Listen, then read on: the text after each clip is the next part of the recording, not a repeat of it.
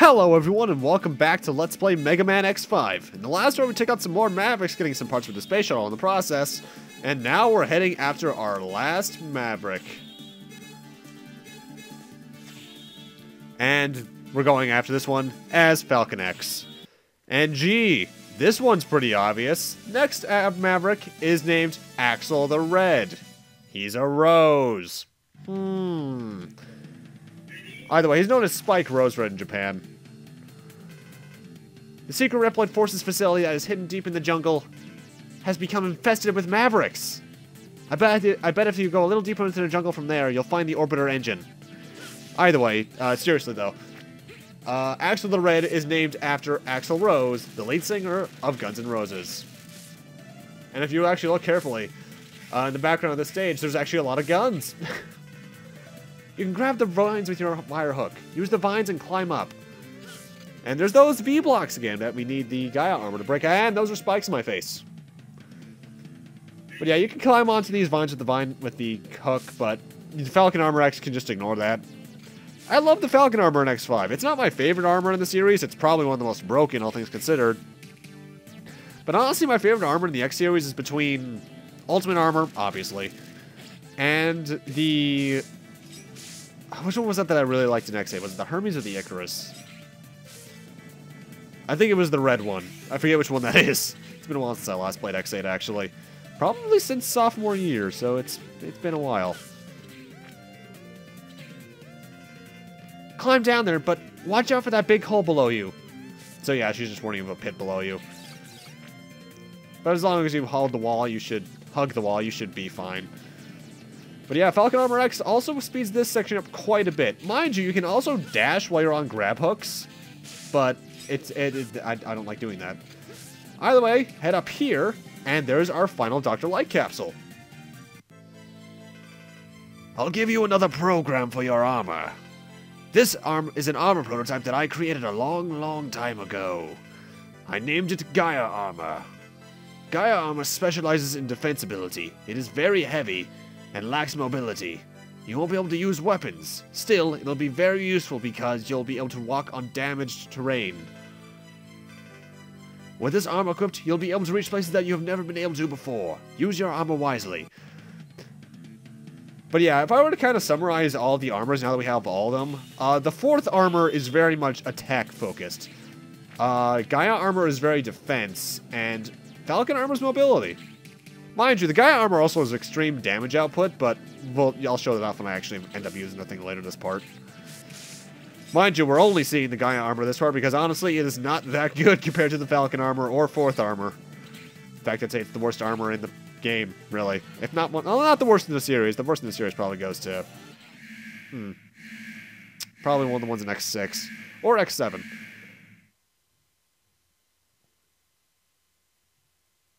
Well, hi there. What do you want with me? Nothing. I just want the orbiter engine. Are you a thief or something? You can't just take what you want that easily. Go home, kid, otherwise I'll call the Maverick Hunter. Do as you wish. Now, tell me where the engine is. I told you, you can't get it so easily. You'll have to fight me for it. If that's the easiest way to get it, so be it. Hey, you better watch your mouth. I'll do whatever it takes to win. Let the battle begin. Well, you're just kind of a dick. Either way, being the plant enemy, he is weak to Mattrex's fire beam weapon. Ground fire, that's its good name. Oh yeah, we have a Giga Attack for the Falcon Armor, and so is the Gaia Armor. Uh, Falcon Armor just kind of does this. Not useful. Uh, Gaia Armor has this kind of weird, uh, uh, I don't even know what to call it. Uh, that one Chun-Li move from Street Fighter. Either way, he is subject to Mega Man X3 syndrome. You hit him with his weakness, he goes from left to right. Uh, actually, I suppose this is both Mega Man 7 and X3 syndrome. But he is very easy with his weakness. You should not lose to him. Uh, he does summon clones, and he will still get attacks off even when you're hitting him with his weakness because he can get some off really quickly. Uh, specifically during right now, he'll almost always get a almost always. He usually throws out his vines at you, and his vines can drain away your HP. And I think that adds back to his. Not a very hard boss, but he can be troublesome. I've taken him out first before, so he's a very so he's a very possible first attack or first Maverick, but there are easier ones you can go after. Either way, that gives us all four shuttle pieces. But it also gives us the last weapon. We get, I think it's called the Spike Ball for X, which he pretty much shoots out that little spike ball that he used during the fight, and it'll come back to us eventually. And Zero, I forget what he gets, actually. Uh, Twin Dream. Okay, he summons a clone of himself that looks very similar to Soul Body from X4. The Sigma virus even destroys nature. There's nothing in nature now which is completely free from mechanical devices. We found the booster. It's out in the jungle. Another hunter will pick, be there to pick, soon to pick it up. Your mission is complete. Return to the base. Alright, let's see what happens with the shuttle. We've completed the space shuttle. It's ready to launch at any time. Still, the problem is, who'll maneuver it? It's awkward having this kind of problem at the very end. Everything else is taken care of. The shuttle is ready. Let me know when you dealt once you dealt with the pilot issue. The space shuttle standby. I trust you, Zero. I'm sorry I couldn't do more for you. Don't mention it. This is my mission. I'm the only pilot left, you know. Zero. I'll do it instead of you. X, you should stay here. Who wants to protect the Earth? Don't talk as if you're not coming back. I'm sure I'll be back. I won't die on such an easy mission. When I become a Maverick, I think that's when I'll have died. Okay, Zero. I'll be waiting for you. You better come back alive. It's about time, Zero. Okay, I'm ready. Ready, Zero. This is our last chance. Blast off. Zero, be sure to come back safely. Zero, zero, zero. Why are you chanting his name like that? This is not an anime. Zero, the colony is approaching. Go! I'm sure it'll work this time. Zero will make it out and get make it and get out okay. Locking onto the space colony. I'll get as close as, to it as possible, then I'll abandon the shuttle. I saw lots of debris from the colony around here. I'll have to pilot the shuttle around the debris. Otherwise, the shuttle will be destroyed before it crashes into the Eurasia colony. Zero, I believe you can do it. Ugh, thanks, Douglas. It's time to go. I'll cut the communications in five seconds and get out of here. Good luck, Zero. Good luck, Zero. Seven seconds to impact. Five, four, three, two. It crashed into the, the colony. Destruction of the colony is 86%. It'll be gone within 10 minutes. We've succeeded in destroying the colony. Zero, can you read me? Zero! Zero, can you read me? I. I feel zero. Girl. This is Zero. Do you hear me? I managed to survive. We've got a response from Zero. Zero, are you alright? It was challenging, but I'm okay. Everything's fine. And they can, I think I can make it back to Earth. We'll get you from wherever you fall. Until then, try to get some rest. It won't be easy, though. Well, that was easy. After a few hours. We found Zero. He's safe, but he's very exhausted. We'll return to base now. Wait, what's this reading? Oh, this again. This is the exact least the same reading. Should we call this the Zero virus? The scraps of the colony and the Sigma virus are colliding together. I wonder What is going to happen? Yeah, it's the same thing that happened before. A new virus? Out of the frying pan and into the fire. Yeah, this is actually the exact same dialogue, even.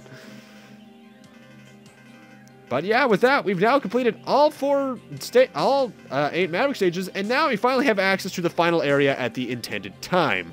But first, as with every Mega Man X game, time for some item collection. All of which with zero. But first off, this is the Gaia armor. This thing only, this thing is actually very powerful. It only has two charged states, uncharged and fully charged, and its fully charged out does a lot of damage. However, its mobility is kind of crap because you don't have access to special weapons or your dash. However, you can walk on spikes and cling on walls. So it has uses, I suppose. It's also a good way to get that heart tank. You can also use the Falcon armor to get that, though. In fact, later on in Izzy Glow stage, once again, there's that X tank I mentioned we could get earlier. So now let's use the ground fire and get it.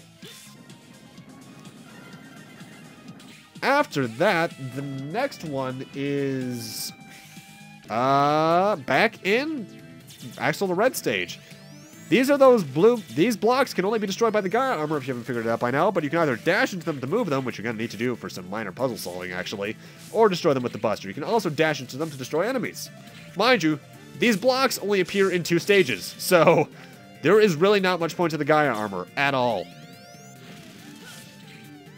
Though I like the idea of having two armors. That's pretty cool. X6 and 8 will bring this back.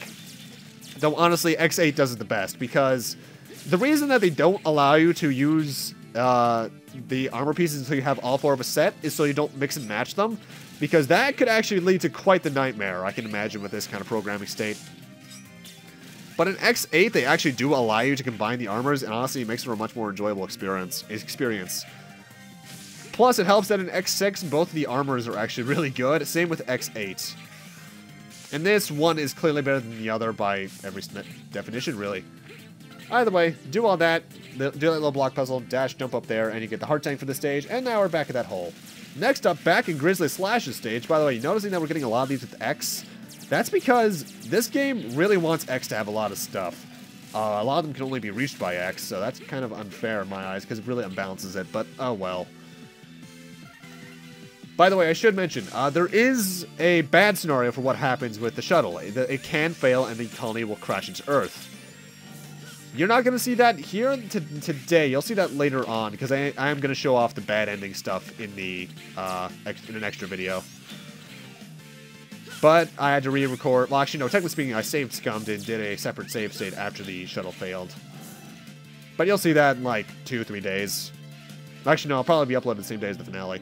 Either way with that, we're finally ready for the final area.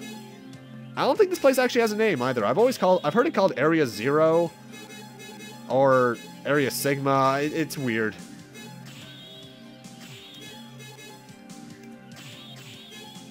Either way, prepare the X, the fourth armor as best you want because it's honestly the best armor to use in the final area. Gotta say though, don't like this track too much. But hey, an extra life right off the bat. Actually, now I look at it, this... Something about the stage design seems familiar. I don't know why. Huh. Oh, that's why it's Quick Man.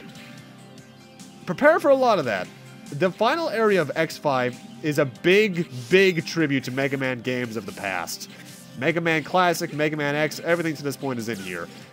And honestly, I feel like it like Mega Man 10, if this was given a bit more development time in writing, this probably would have been the bridge game between Classic and X. It's the closest we have so far, and I gotta say, it's really interesting to see. Obviously, not Flash Stopper helps quite a bit against this not Quickman stage. The lasers are still instant kill, so watch out for that, but honestly, it's not too bad. There are, the, the only, the, the laser that actually killed me is usually the only one that actually can kill me. Because a lot of these are pretty predictable as to how they move about. Either way, time for the boss. They are weak against uh, Tri-Thunder, so get that out. And there's a specific reason they're weak against Tri-Thunder. Alright, what we got in here? Is that the Dr. Wily single in the background? And hey, Mega Man 1 boss music. Cool, that's... Oh. No. No. Not again. I thought I left you in Classic.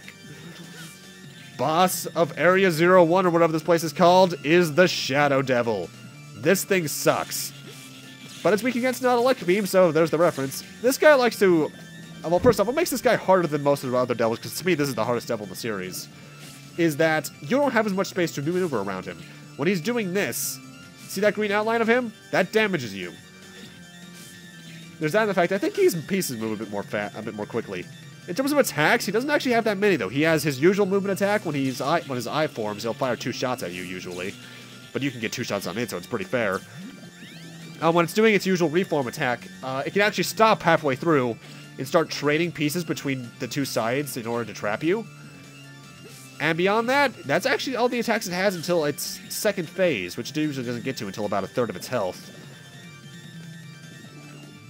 Though I'm, I will, I won't lie though, I did actually kind of scream when I first saw him because I was frightened. Why? I have nightmares of the Yellow Devil on a weekly basis. Don't feel ashamed for having to use a, uh, what's it called? Uh, E-tank, sub-tank in this boss fight, because this can actually drain your health pretty well. Especially if you've noticed, uh, the boss healths have started getting really ridiculous. It's only going to get worse next part. But honestly, we've faced worse devils, uh, either the... Well, hmm, arguable, honestly. I think this is the hardest devil in terms of his attack pattern, but in terms of the actual fight, we've honestly faced harder now that I think about it. The Yellow Devil from Mega Man 1 is a harder fight, just that this guy's attack pattern is a lot harder to maneuver around, if you if that makes sense. But thankfully, it is the last real devil in the series because the Rainbow Devils in the Zero series are not that hard at all. Uh, I won't even count that thing I'm thinking of in ZX1 as a uh, devil. So honestly, it's the last hard devil.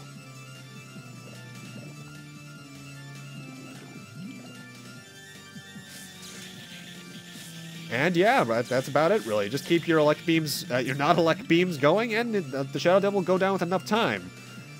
Though things start getting a bit interesting when it's in its last third or fourth of its health, as we'll see momentarily. After it does one more reformation around this part, around this point of health, it can do it a bit earlier or a bit later even. He changes his form again. Into Wily Machine 6 from Mega Man 6. This thing is very simple to beat, because he'll do a jump, show his eye. Do a jump, show his eye. That's about it. When he first forms into it, he'll go across the entire room. But honestly, you should not lose at this point because this point is very easy. But hey, it's a reference to Mega Man 6, and I'll take as many of those as I can get.